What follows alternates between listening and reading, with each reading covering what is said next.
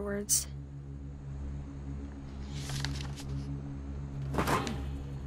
Of all the stories people wrote about Barbara's death, I'm surprised Edie saved this one.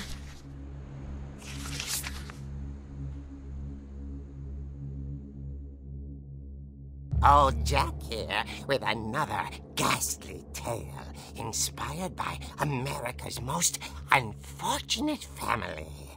I'm calling it The Surprise Ending of Barbara Finch.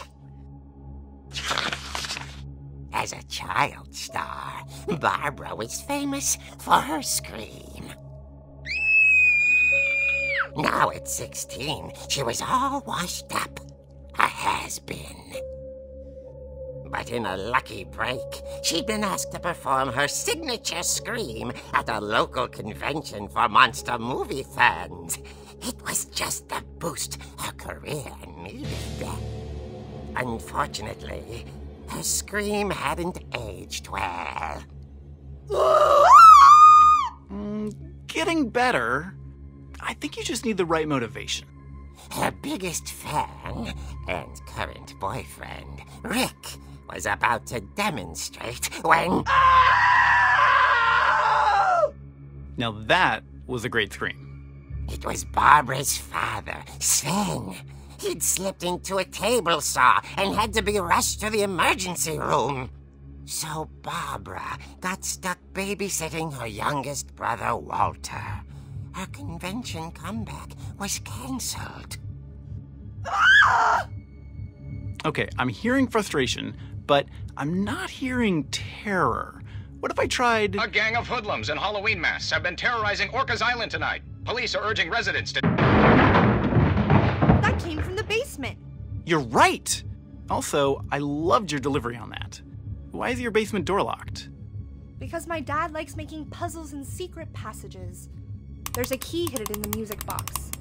The secret is to keep winding and winding until finally the key pops out.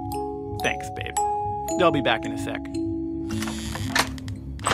Twenty minutes later, Rick hadn't returned. So Barbara went to look for him, right on cue. She reached for the music box. And as she wound the key, she listened for Rick, but the house was silent.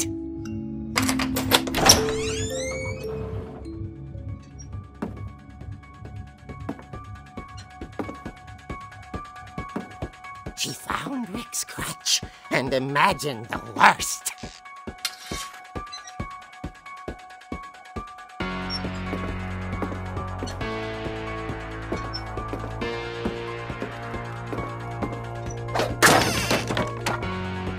The gang's leader is the infamous Hookman Killer, Dr. Carl Hamill, who impaled and then ate his family 10 years ago tonight.